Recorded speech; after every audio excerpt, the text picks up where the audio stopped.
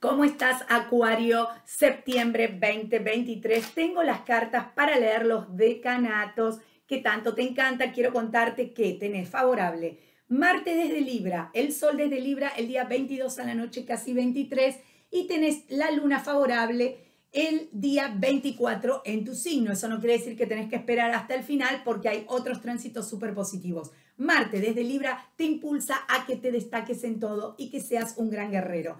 Vamos a ver qué pasa con el primer decanato, que son los que cumplen el mes de enero. Se los ve seguros, con fuerza, imponiendo situaciones de salud mucho más antes que otra cosa. O sea, ¿qué pasa? Si el acuario tiene un tema de salud, la antepone ante temas laborales, temas de justicia, todo lo demás queda atrás. Lo más importante es la salud. Si no tenés temas de salud, seguramente te impulse mucho la pasión y el desborde emocional por tu pareja. Vamos con el segundo decanato, que son los que cumplen hasta el 10 de febrero, que se ve un trabajo dedicado, un trabajo esforzado, que vas a dejar atrás una situación de reciclaje del hogar, que vas a decir, sabes que esto no lo voy a hacer ahora, lo hago en otro momento, a partir de octubre, pero ahora es más de reciclaje personal, sentirme bien con lo que hago, festejar cada cosa que hago y, ¿por qué no?, enamorarte también segundo decanato del signo de Acuario. Vamos con los del tercer decanato, que son los que cumplen después del 10 de febrero,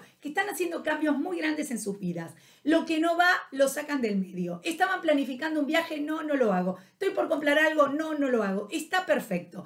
Hasta el día 16 pueden hacer lo que tengan ganas y lo pueden cambiar todo después del 13 y el 16, porque va a entrar Palas Atenea, que es tiene que ver un poco con ustedes también, junto al Sol en Libra, ya ha llegado el día 22. Así que decisiones son muy importantes para Acuario, pero que los esperen, tampoco que tengan que ser ya. Besos gigantes, septiembre 2022, Acuario.